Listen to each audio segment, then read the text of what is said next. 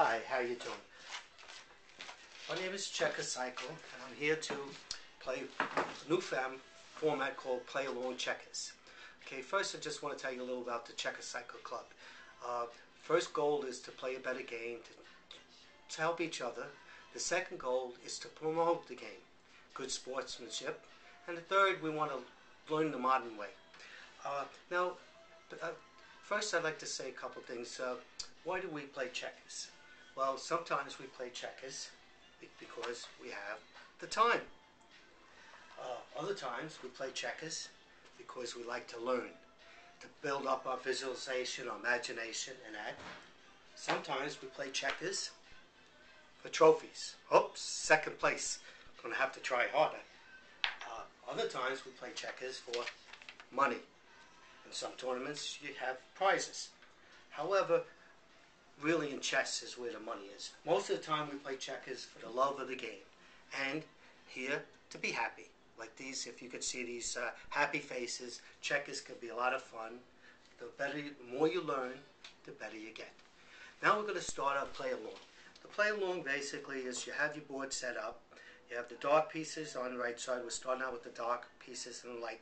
In, my, in this particular case, it's red and white. I'm going to do this very smooth. I'm going to try to go a little slower, and you can make your comments how we can improve this format so we can all help each other. So I'm going to move 11 to 15, and when I move, you move. I'll make it easier, uh, and you can learn more that way. And when I say stop, I'd ask you, when I say stop, basically I'm going to say stop, look, and consider. Tom Wiswell used that expression, and basically it's very, very good expression. Okay, white moves 25 to 22, and red jumps. Red, white jumps red back. Now, this is called the single corner opener, and it's very popular, so this is one of the reasons why I want to start with this. Okay, now we have the next move is 8 to 11. Uh, white moves 29 to 25. Okay, uh, 4 to 8 for red. 24 to 20 for white. Okay, the next move here is 12 to 16. Okay, now we can stop for a second here and see. We see that red has an elbow here, but because he has this piece defending, white can't take advantage of this right now. So we, uh, but this is the different things you have to look at, the little combinations, the little tactics that go and play, and they can start as very early in the game, and and that's how you learn to play.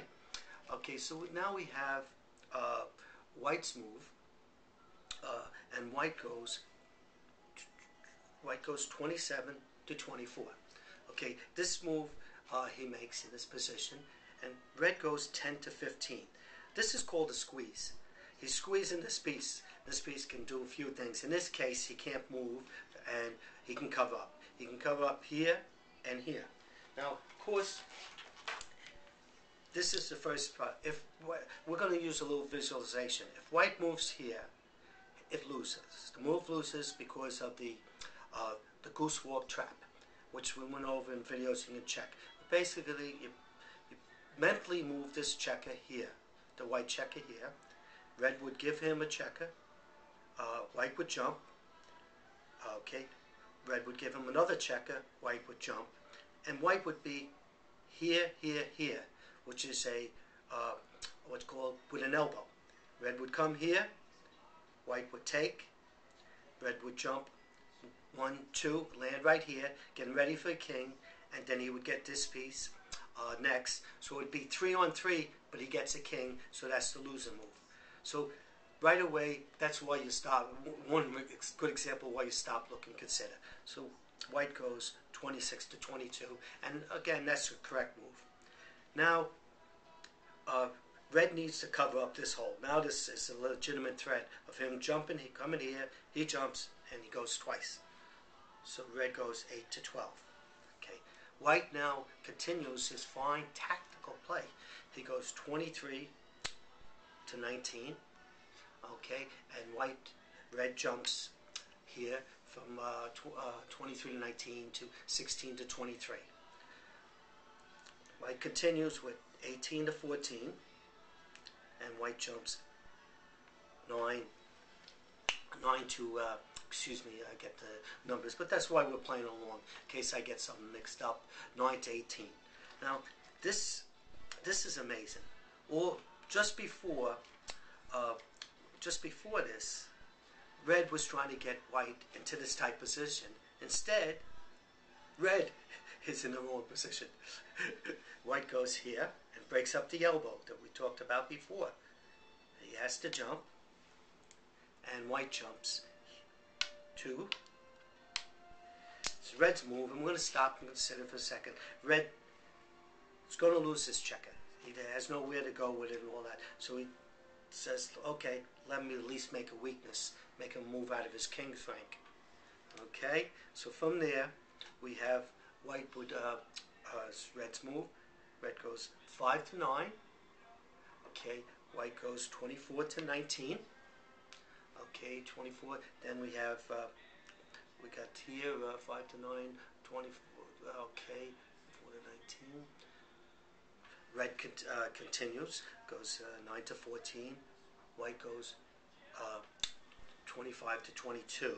He doesn't get a king yet because he wants to try to control the board as much as he can. Now red does another. Now red does another fine move. He goes right here. Uh, this is a this is a nice move. It's just a small combination. White has to jump, and red goes seven to eleven and squeezes that checker. Sometimes again, to get a draw, you have to do those little good moves. You have to think ahead. White goes, gets a king. I'll crown him. Okay, hope you're following along correctly. Red jumps. Now we have. We're going to go over this position. This position is uh, a, an even game because White's going to come out, but Red has enough protection here to be able to uh, exchange him if if he gets too aggressive, and Red's going to come here, and it's a draw game. I hope you like this little demonstration, a little learning tool, and any comments to help me uh, help you and help the che uh, Checker Cycle Club to get this game popular, please send me. Thank you very much enjoy.